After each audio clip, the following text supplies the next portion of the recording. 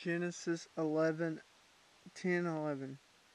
Out of the land went forth into Assyria and built Nineveh and Renan and Kara.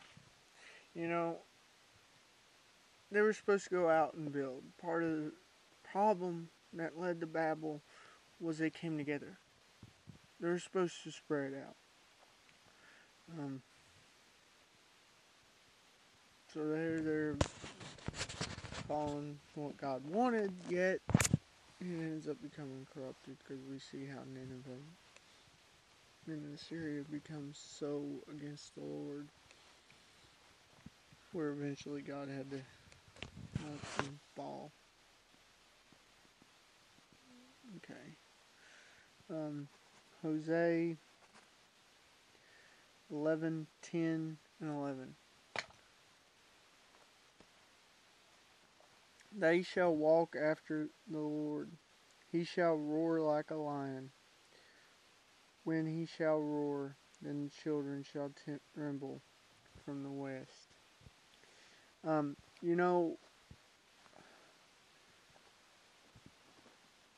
when we walk after the Lord, He's watching after us. Certain things that are against us, He'll scare off.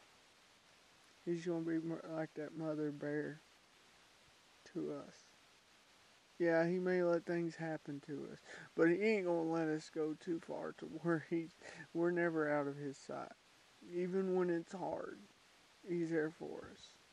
Even during the times we can't get through or don't seem we can get through, he's there for us.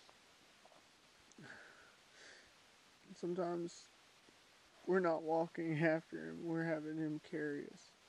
Because he knows we can't do it without him doing it. And it's okay for us to go through times where he has to carry us.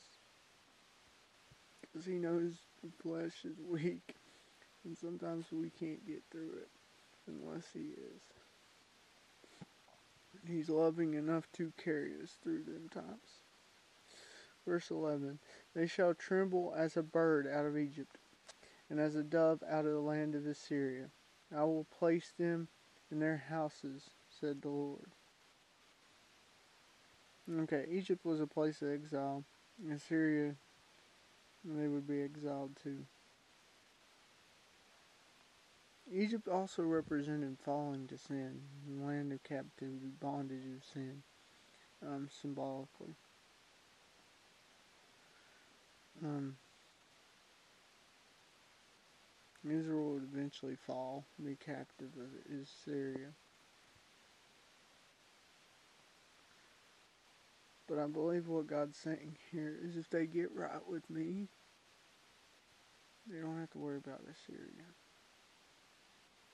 And for us, when we choose to get right with God, there may be things that overtake us, things that knock us down, things that beat us up. But ultimately, we don't have to worry about it if we're walking after the Lord. Because His hand will take care of it all.